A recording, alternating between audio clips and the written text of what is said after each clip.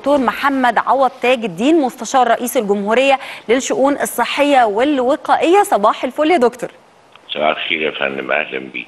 أهلا بحضرتك. في البداية عايزة أشكر حضرتك على الرد السريع وكمان تكذيب الإشاعات اللي انتشرت إنه الفيروس منتشر في مصر. هو زي ما حضرتك قلت هو سريع الانتشار لكن ما عندناش حالات في مصر. محتاجين من حضرتك تطمن كل اللي بيتابعونا.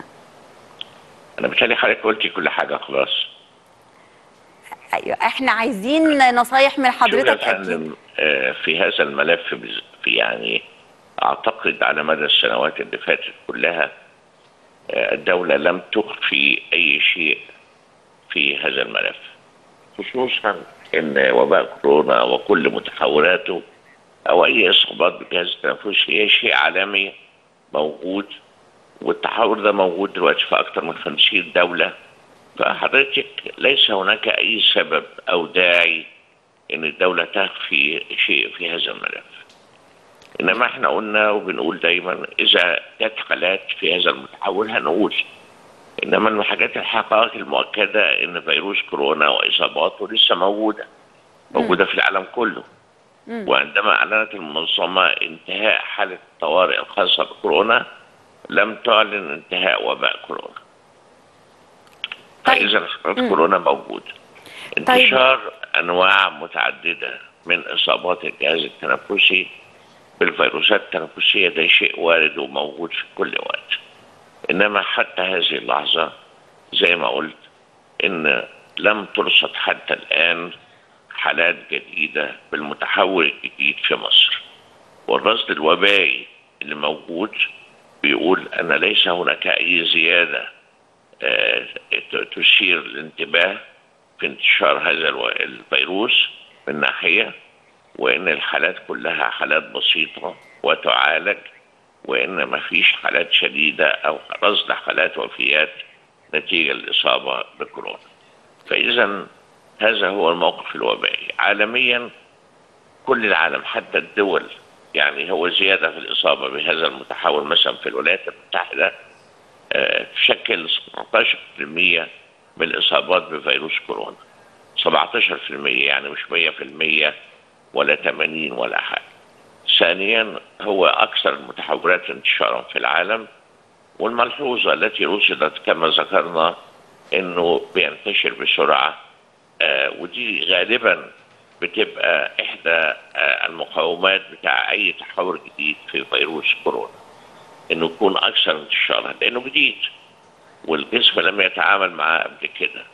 ومقاومة الجسم لم تتعامل معاه فاحتمالية إنه ينتشر أكثر هي دي الميزة أو الظاهرة الجديدة في هذا المتحول. دكتور عوض اسمح لي أسأل حضرتك بس إنه إحنا عارفين ان هو انتشاره سريع عن بقية المتحورات القديمة. هل ده ممكن يشكل خطورة علينا؟ لا خطورة على هي المشكلة الوحيدة إنه لما بيكون أكثر انتشارا يبقى عدد حالات الإصابة بتكون أكثر. مم. يعني بمعنى إيه حضرتك؟ افرضي سيادتك إن المتحول اللي قبله كان عندما ينتشر يصيب خمس أشخاص العدوى يعني. فهذا أكثر انتشارا يعني ممكن جدا يكون بيصيب سبعة أو ثمانية. يبقى عدد الإصابات بتبقى أكثر فيبان إن المرض أكثر انتشارا طيب آه، دكتور محمد آه، يعني هاخد من حضرتك أكيد آه، نصايح ننصح بيها المشاهدين وهل هيكون في الفترة اللي جاية تطعيمات جديدة؟ هل ال- الأعراض بتاعته مختلفة عن الأعراض اللي إحنا معتادين عليها لأوميكرون وكورونا؟ نرجع للإجراءات الاحترازية. محتاجين نصايح حضرتك. حضرتك بالنسبة للأعراض لم تختلف كثيرا عن أي إصابات سابقة. بالكورونا أو أوميكرون. ولا تختلف كثيرا أيضا عن الإصابة بفيروسات الجهاز التنفسي. كلها متشابهة. أعراض برد رشح عطس آه، بيكون معها التهاب في الزور وفي وتكسير شوية في الجسم. وفي بعض الأحيان بيكون هناك ارتفاع في درجات الحرارة.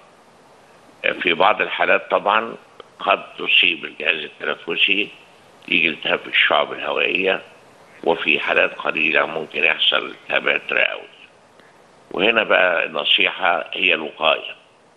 حضرتك قلت في الأول وده أكيد.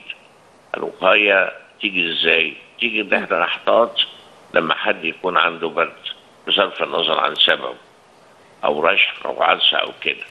وصنفت على إنها إحدى التهابات الجهاز التنفسي نخلي بالنا اولا آه، يعني اللي عنده المرض ده يعتكف يومين ثلاثة حتى لا ينشر المرض بين المخالطين ليه أو زملائه أو في في وسائل النقل إلى آخره.